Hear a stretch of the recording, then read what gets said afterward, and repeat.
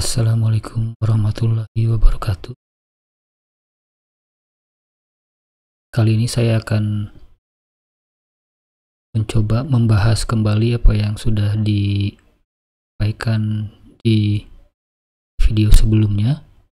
Namun di video sebelumnya ada kesalahan dalam proses klasifikasi. Kali ini kita akan coba eh, kembali bagaimana melakukan klasifikasi dengan data citra Landsat. Nah, seperti yang dapat Anda lihat di halaman ini, di situs ini, saya menyimpan beberapa tutorial untuk materi atau tutorial kali ini saya mengasumsikan Anda sudah membaca materi yang ada di dalam belajar SIG ini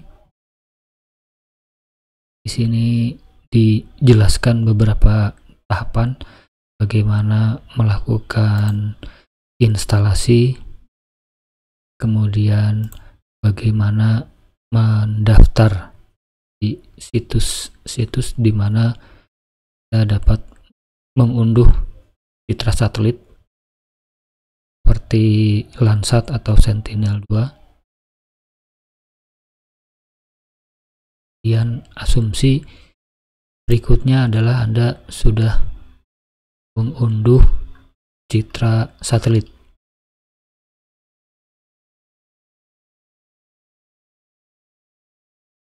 Di, di sini kita akan menggunakan QGIS. Tampilan pertama ketika Anda membuka QGIS adalah di sini adalah main display dan ini adalah browser panel, ini adalah layers panel pastikan Anda ingat direktori di mana Anda unduh data. kesempatan ini saya akan menggunakan data Landsat 8 yang saya simpan di folder ini. Untuk mempermudah proses membuka data, QGIS ada fasilitas favorit. Saya bisa klik kanan di folder ini kemudian add as favorit. Otomatis folder akan tersimpan di atas. Data citra yang itu ada di folder ini. Dan saya akan tampilkan band 2 sampai 8 add layers to selected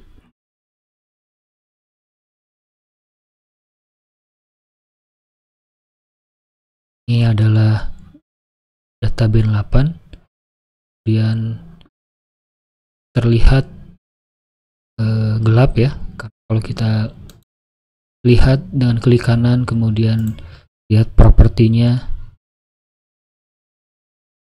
Histogram. Nah, nilainya ada di ini. Data yang memiliki visualisasi yang baik teorinya memiliki histogram seperti distribusi normal. Seperti begini. Nah kita akan melakukan uh, clipping ya. Data ini akan fokus di daerah uh, Bandung. Secara konvensional apabila kita ingin menajamkan citra seperti ini kita dapat aktifkan uh, raster panel.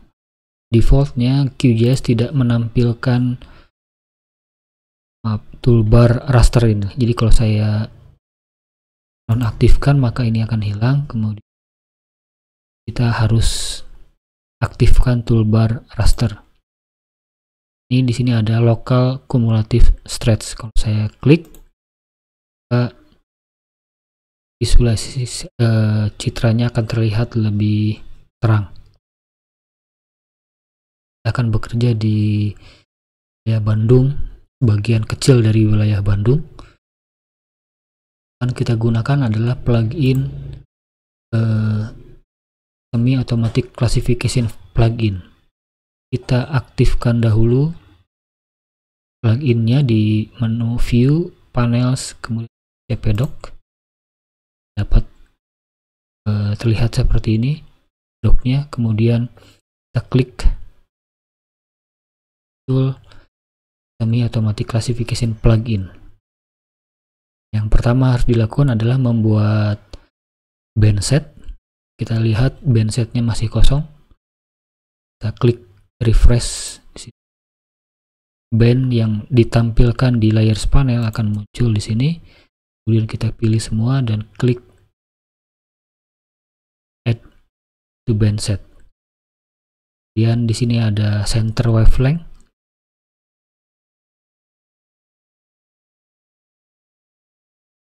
Kita bisa pilih informasi center wavelength ini penting untuk diubah agar ketika kita menampilkan spectral signature lebih mudah membacanya kita bisa ubah dulu ke lenset 7 kemudian kita kembalikan ke lenset 8 jadi di sini center wavelengthnya 0,48 mikron untuk band 2 dan selanjutnya. Kemudian kita pastikan create virtual raster band dan build band overviews. Kemudian kita lakukan preprocessing untuk mengklip ya, bukan clipping.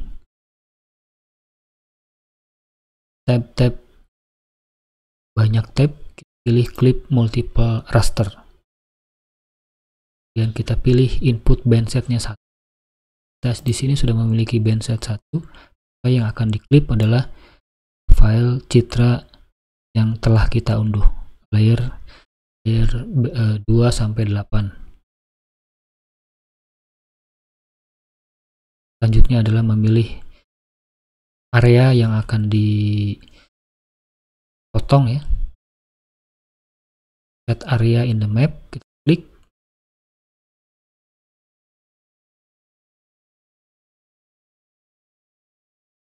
klik.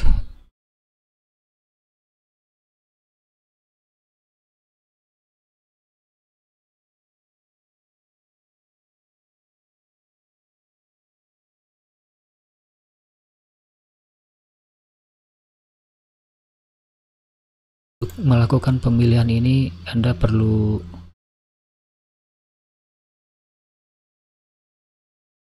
berlatih ya. Kadang-kadang uh, sulit dilakukan kita pilih daerah ini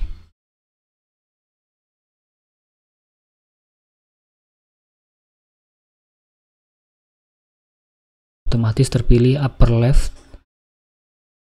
dan lower right. Di upper left itu ada di sini. Adalah upper leftnya ini adalah lower rightnya. Koordinatnya ini akan sesuai dengan koordinat yang dimiliki oleh citra Lenset di sini kode APSG nya adalah 32648 artinya ada di zona UTM North. Walaupun kita ada di zona UTM yang yang yang eh, yang selatan seharusnya 32748 kita abaikan saja. Klik run. Proses berjalan oh belum belum berjalan. Kita harus memilih